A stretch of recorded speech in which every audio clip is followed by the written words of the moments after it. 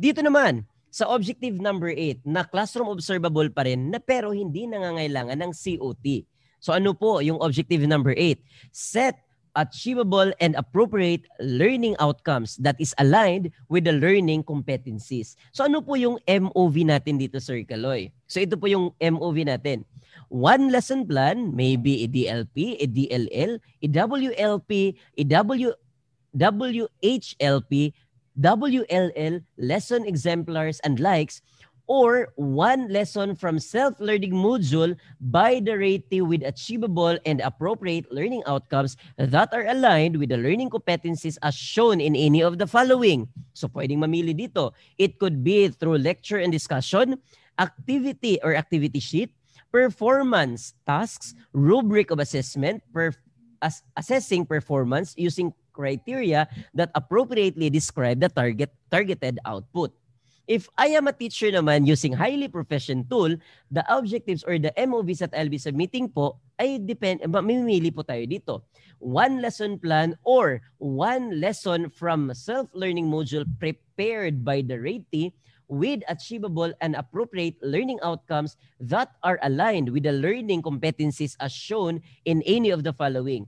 Lecture discussion, activity sheet or activity performance tasks, rubric for assessing performance using the criteria that appropriately describe the target output, and demonstrated in a LAC session as attested by the LAC coordinator or approving authority with proof of attendance of colleagues. So meron po tayong ganun for teachers using highly proficient tool. Another objective naman, ito namang objective na ito ay non-classroom observable. The same po nung objective number 8, yan po ay non-classroom observable na na mga objective. So objective number 9 naman ay also isang non-classroom observable objective. Meaning, ang ito pong objective number 9 po ay ang build relationship with parents, guardian, and the wider school community to facilitate involvement in the educative process. So ano po yung isasubmit natin? Ito mahaba-haba po no, but we'll try to read it. We'll try to ano scan it kung ano ba yung na- nakasulat dito kasi parang mahaba eh. For teachers using proficient tools, ang ano po natin ang pwedeng isubmit natin na MOVI.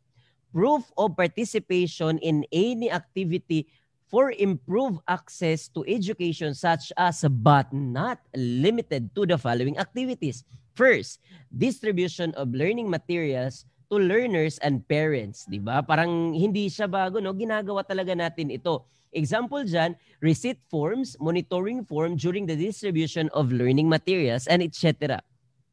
Second option for number one is the Brigada Eskwela or participation to Brigada Eskwela. Example po doon ay yung mga commitment form to stakeholders, develop advocacy materials, certificate of participation that involve parents or stakeholders in engaging or signed by the school engagement signed by the school principal. Yan naman po ay isang option. Another po, another option in under number one po is home visitation. Again po, we're not saying that you go home visit, na dapat mag-home visit ka talaga. Kasi depende po yun sa community quarantine status natin. Kasi baka hindi po pwede mag, mag face-to-face, di ba po? Pero alam naman natin, ng mga guro sa Pilipinas, meron tayong mga strategy dyan. So if ever na possible say home visitation, if ever po na ginawa natin ito, pwede din natin siyang i-post doon sa under number one po as proof na meron tayong participation doon. Home visitation form and etc. And other things that we do that we involve parents and stakeholders po.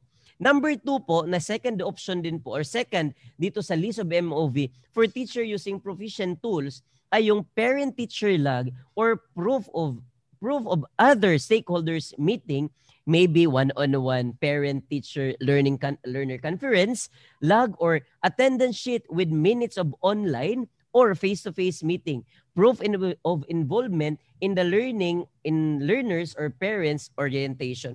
So sinabi nyo dito sir na merong face-to-face meeting. So meaning po ba sir sinasabi nyo mag face-to-face meeting?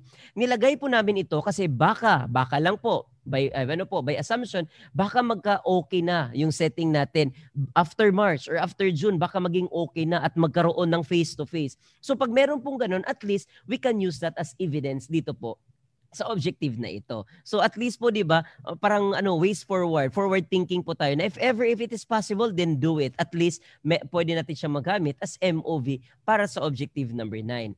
The third po is any form of communication to parents and stakeholders. Example, notice of meeting, screenshot of chats and chat or text messages or communication with parents, guardians and other po, another through digital or print just digital or print copy of learners enrollment survey form signed by the ICT coordinator and focal person or the school head. So alam po natin na yung communication po natin ngayon, meron po nag-GC, meron tayong group chat, meron po through text. So yun po, pwede nating screenshot yun at pwede nating gawing evidence for objective number 9 as long as there is an engagement that we promote ano po involvement of parents, stakeholders and at wider school community to participate in the educative process of our learners. For teachers using highly proficient naman po, yung guided colleagues to strengthen the relationship with parents, guardian, and wider school community to maximize the involvement in the educative process. So if I am a teacher using highly proficient tool, ito po yung ito po yung mga ano, ito po yung list of MOVs na pwede nating pagpilian. First, letter school letter approved by the school or department or grade level head. Example po nito ay communication with the barangay to use the government vehicle to transport module. So if ever na meron kayong ganyan po na ginagawa as Mr. Teacher, pwede mo nang magamit yan as MOV. Pwede naman po si approve action plan or project proposal, activity proposal which involve stakeholders.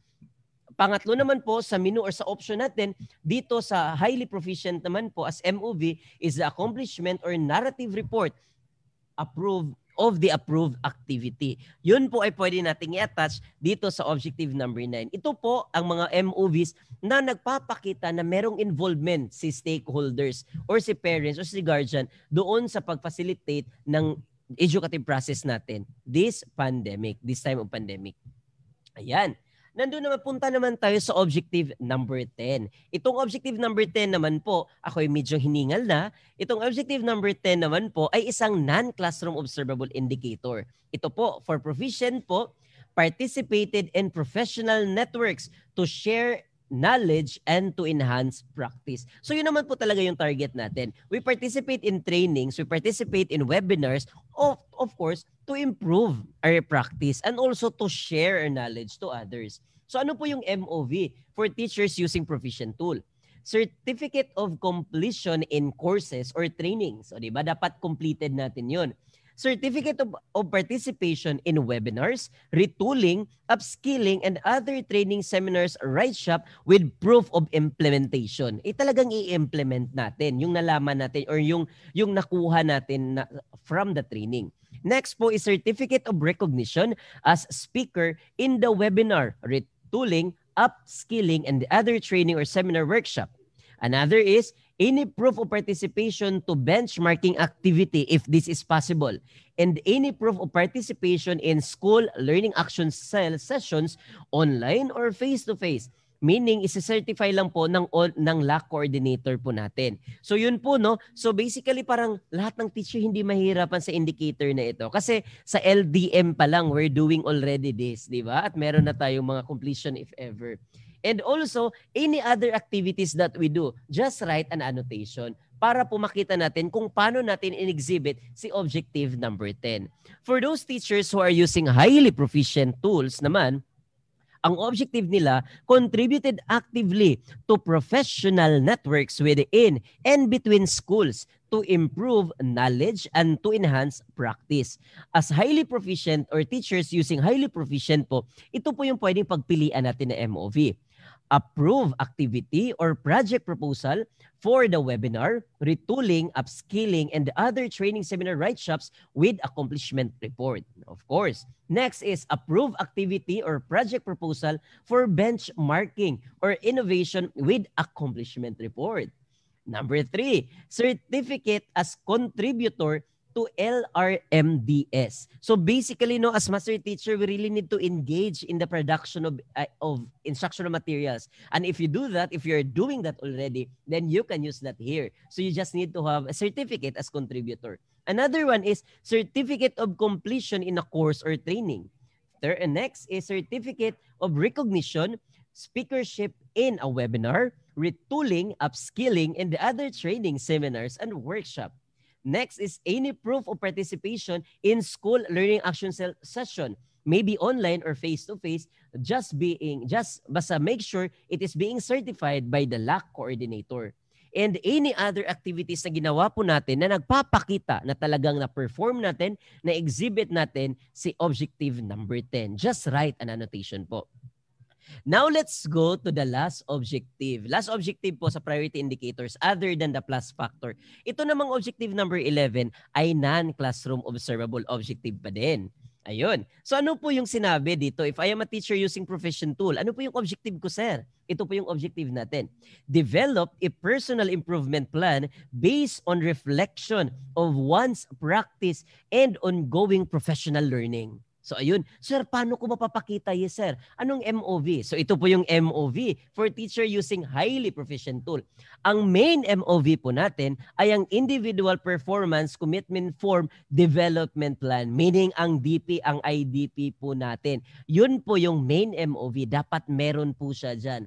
Sir, kasi main MOV yan, meron yung supporting MOV. Yes, meron yung supporting MOV. Ang supporting MOV ng ating IPCRF DP ay ang any documents that would show that is aligned with our development plan such as reflection of one's practice using LAC sessions with proof of attendance. Ayun, may reflection tayo. Simple reflection na natutunan mo or may nabago ka or may natutunan ka, na-learn ka out from that session tapos binago mo yung practice mo. You can write that. In our, di ba, meron tayong LAC ano, notebook Another thing is reflection or personal notes on the coaching and mentoring and or mid-year review. 'Di ba? We do the mid-year review. So ano yung natutunan mo? Ano yung reflection mo that made that help you develop your ano po, your development plan or yung mga uh, yung mga weaknesses natin or yung strength natin that made us improve our priority development po doon sa DP natin. So pwede nating isulat 'yon through reflection or personal notes.